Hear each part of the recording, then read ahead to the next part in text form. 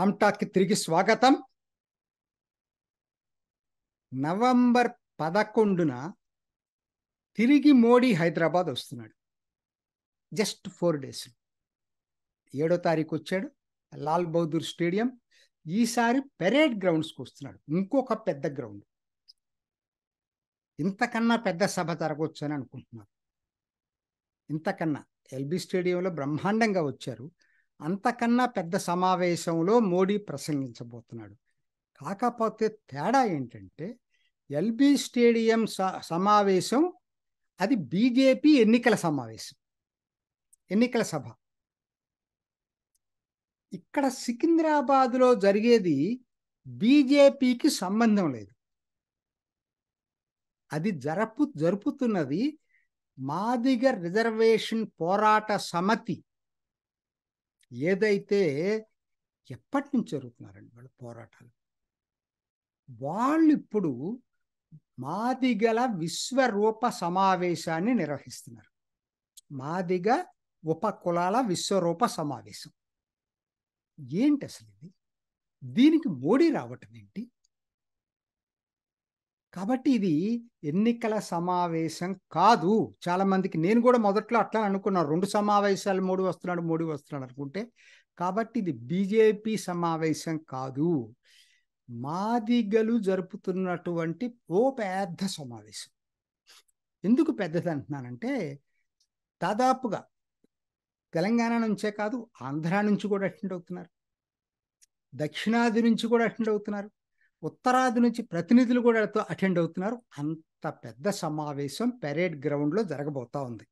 So కాబట్టి ఇది ఎందుకు ఏంటి అసలు ఈ దీని ప్రాముఖ్యత ఏంటి మోడీ లాంటి వ్యక్తి ఎందుకు అటెండ్ అవుతున్నాడో ఒక్కసారి తెలుసుకోవటానికి మనం ప్రయత్నం చేద్దాం. ఇది ప్రధానమైనటువంటిది ఏంటంటే దీని ఆబ్జెక్టివ్ ఏంటంటే ఎస్సీ వర్గీకరణ కోసం జరుపుతున్నటువంటి సభ. ఎస్సీ వర్గీకరణ. ఎందుకు చెప్పాల్సి వస్తుంది ఈ మాట అంటే ఇప్పుడు కాదు మందకృష్ణ మాదిగ పేరు వినన వాళ్ళు తెలుగు రాష్ట్రాల్లో ఎవరు లేరు. ఇప్పుడు కాదండి నేను ఎప్పటి నుంచి వచ్చినాను ఆయన పంతొమ్మిది వందల తొంభై నాలుగులో పెట్టాడు ఈ ఆర్గనైజేషన్. నాకు తెలిసి ఎంఆర్పిఎస్ అప్పటి నుంచి పోరాడుతూనే ఉన్నాడండి పోరాడుతూనే ఉన్నాడు సుదీర్ఘ పోరాటం. నాకు తెలిసి ఇటీవల కాలంలో ఎంత సుదీర్ఘ పోరాటం చేసిన యోధుడే లేడు. నిజం చెప్పాలంటే హ్యాట్స్ ఆఫ్ టు హిమ్ ఆ విషయంలో. సో కాకపోతే ఆయన అలసిపోతున్నట్టుగా అనిపిస్తుంది. ఎందుకంటే ఆయన మరి ఏజ్ కూడా దగ్గరకు వస్తూ ఉంది. ఆ రోజు ఉన్నటువంటి దానికి వాళ్ళకి తేడా వస్తుంది. పాపం రిజల్ట్ వచ్చినట్టు వస్తూ ఉంది వెళ్ళిపోతా ఉంది జారిపోతూ ఉంది చేతిలో నుంచి. ఏంటి అనేదంటే చూస్తే ఒకటేనండి మీరు ఒకటి ఆలోచించండి. రిజర్వేషన్లు ఎందుకు కావాలండి? ఇవాళ రిజర్వేషన్లు మొత్తం సమాజం బై అండ్ లార్జ్ యాక్సెప్ట్ చేసింది. ఎక్కువ మంది. రిజర్వేషన్ అనుభవిస్తున్న వాళ్ళే కాదు రిజర్వేషన్ దక్కని వాళ్ళు కూడా బై అండ్ లార్జ్ యాక్సెప్ట్ చేసింది. ఎందుకని? సాంఘిక విద్యా రంగాల్లో అసమానతలు ఉన్నాయి సమాజాల్లో. తరతరాలుగా వచ్చినటువంటి అసమానతలు తొలగాలంటే కొన్నాళ్ళు వాళ్ళకి రిజర్వేషన్లు ఉండాలనేటువంటి ఒక విధానాన్ని భారత ప్రజానీకం ఒప్పుకున్నారు. కాన్సెప్ట్ అది. వాళ్ళకి బెనిఫిట్ రాకపోయినా ఎందుకు ఒప్పుకున్నారు? అందరు కాకపోయినా బెనిఫిట్ పొందిన వాళ్ళలో కూడా ఎక్కువ భాగం ఒప్పుకున్నారు. ఎందుకు ఒప్పుకున్నారు? కారణం ముఖ్యంగా విద్యావంతులు. కారణం ఏంటి?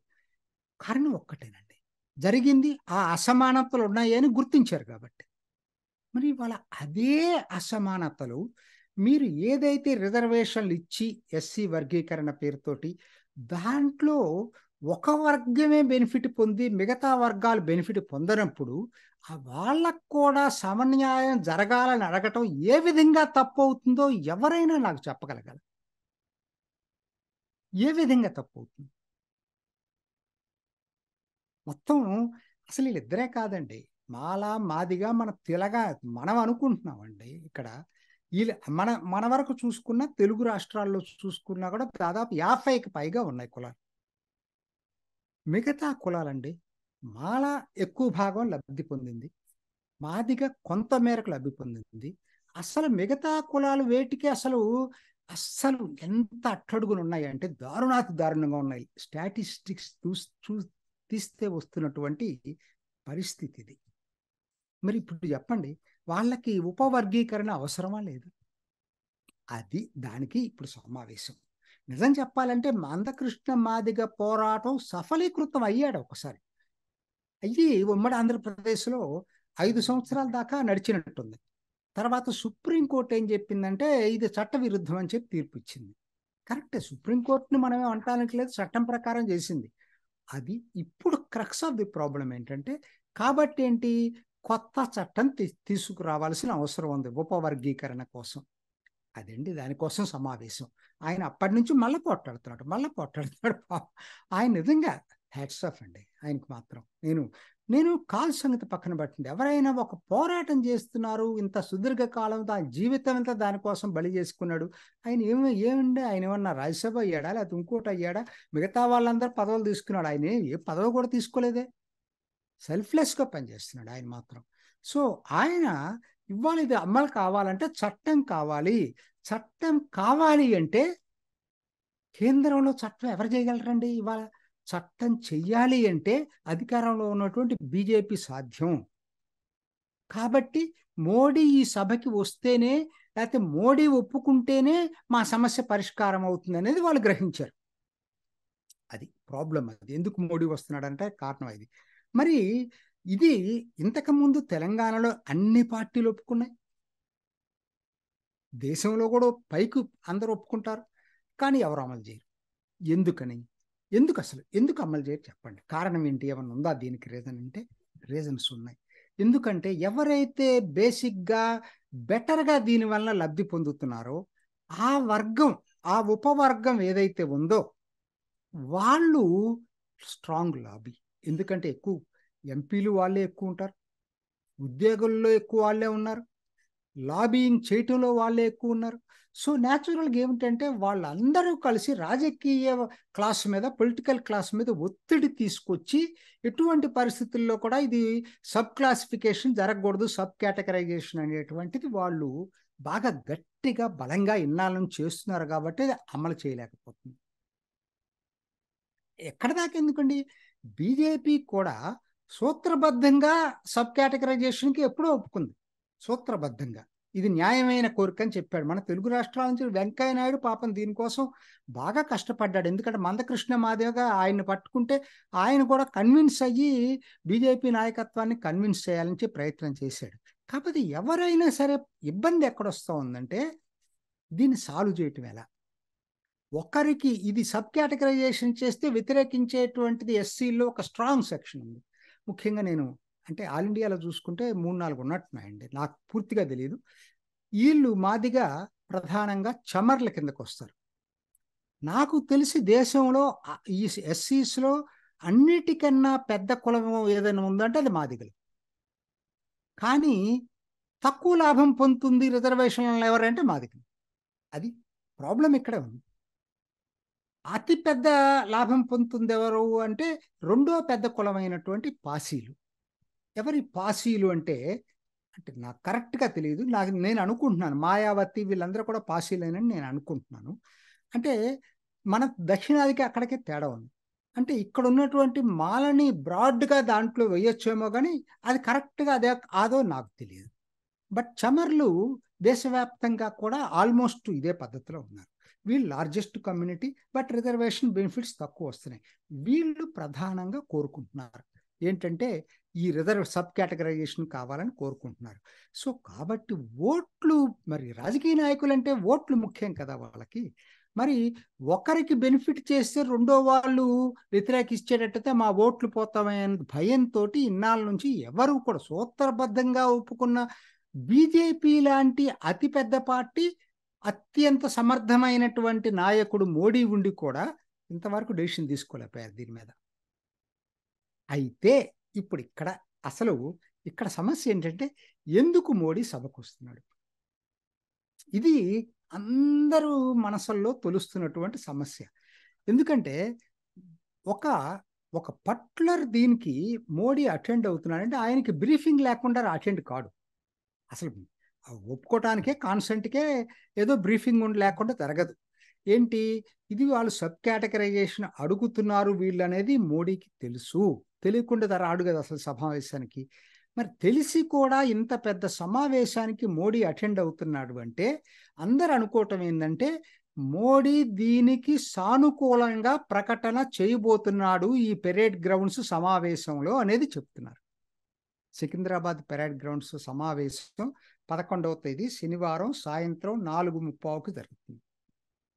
దీనికి ఆయన అటెండ్ అవుతున్నాడంటేనే సానుకూల ప్రకటన ఇవ్వబోతున్నాడనేది అందరు అనుకుంటున్నారు. నిజమంటే ఎవరు చెప్పలేరు. ఎందుకంటే మోడీ ఏం చేస్తారనేది అది ముందు ఎవరు ఊహించలేరు. అది అది చాలా కష్టం అవుతుంది కాకపోతే సున్నితమైన సమస్య అయినా దీనికి ఏదో ఆయన దగ్గర పరిష్కారము లేకపోతే కఠిన నిర్ణయం తీసుకోవాలని ఒక దృఢ నిశ్చయానికి వచ్చే ఉంటేనే ఈ మీటింగ్కి అటెండ్ అవుతున్నాడు అనేది జనం అనుకోవటం. అయ్యుండొచ్చు.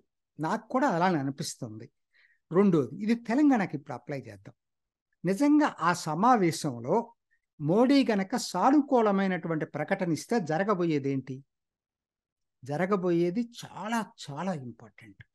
ఎందుకంటే ఒక్కసారి ఆ ప్రకటన ఇవ్వమనండి. మోడీ ఇవ్వటం అంటే చాలా మిగతా వాళ్ళు ఎవరిచ్చినా ఎవరు పట్టుకోరండి ఇవాళ మోడీ ఏదైనా అన్నాడంటే చేస్తాడనే నమ్మకం జనానికి ఉంది.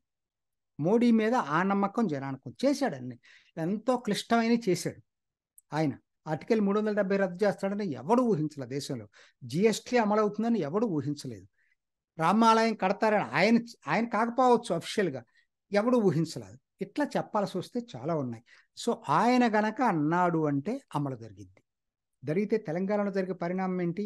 ఎన్నికల్లో పనిగట్టుకోనల్లా మాదిగలు ప్రతి గ్రామ గ్రామానికి వెళ్ళి కూడా బీజేపీకి ఓటేపిస్తారు. కాకపోతే ఇది దేశవ్యాప్తమైన సమస్య ఇది.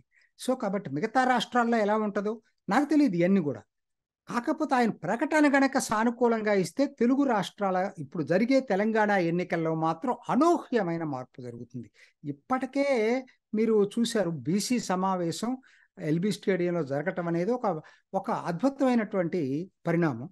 దాంతోపాటు ఎస్సీ ఇది కూడా గనక ఉప వర్గీకరణ గనక మోడీ సానుకూల ప్రకటన జరిగేటట్టయితే అసలు సోషల్ జస్టిస్ పార్టీగా బీజేపీ తెలంగాణలో మారిపోతుంది. అనొచ్చు. ఆ ఇవన్నీ ఏదో ఎన్నికల కోసం చేస్తున్నారు అనేది అంటే ఒకటి మోడీ సాధ్యమైనంత వరకు ఆయన మీద ఇప్పటికి కూడా జనాలకు కాన్ఫిడెన్స్ ఉంది. చెప్తే చేస్తాడు అనేది. సో కాబట్టి ఎన్నికల కోసం కావచ్చు ఎన్నికలు లేకుండా రాజకీయ నాయకులు ఎందుకు వస్తారు దేనికైనా కూడా. అంత మాత్రాన్ని ఇక్కడ పెద్ద కమ్యూనిటీకి బెనిఫిట్ అవుతుందా లేదా? ఎప్పటి నుంచో ఉన్నటువంటి సమస్య పరిష్కారం కాబోతుందా లేదా? ఎందుకంటే ఇది అత్యంత క్లిష్టమైన సమస్య. ఎన్నో ఏళ్ళ నుంచి దశాబ్దాల నుంచి నలుగుతున్నటువంటి సమస్య. ఇటువంటి సమస్యల్ని పరిష్కరించగలిగినటువంటి మొనగాడు కూడా మోడీనే. ఎటువంటి క్లిష్ట సమస్యలను ఇంకే ఎవరు చేయలేరు ఆ పని. సో కాబట్టి ఆయన అనుకున్నట్టు చేస్తాడు. సో అందరి కళ్ళు ఇప్పుడు నవంబర్ పదకొండు పెరేడ్ గ్రౌండ్స్లో జరగబోయే మాదిగల విశ్వరూప సమావేశంపై ఆధారపడింది. మోడీ ఏం చెప్పబోతున్నాడు ఆ సమావేశం అని చూద్దాం. మీలాగా నేను కూడా ఆసక్తిగా ఎదురు చూస్తున్నాను ఇది నాటి రామ్ టాక్. ఇంకొక ఎపిసోడ్లో మళ్ళీ కలుసుకుందాం. నమస్తే. చూసారు కదండి. మరి ఈ వీడియో కనుక మీకు నచ్చినట్లయితే ఒక లైక్ కొట్టేసి మీ అభిప్రాయాన్ని కూడా కామెంట్ బాక్స్లో తెలియజేస్తూ ఇలాంటి ఇంట్రెస్టింగ్ అప్డేట్స్ కోసం మా ఛానల్ని సబ్స్క్రైబ్ చేసుకోండి.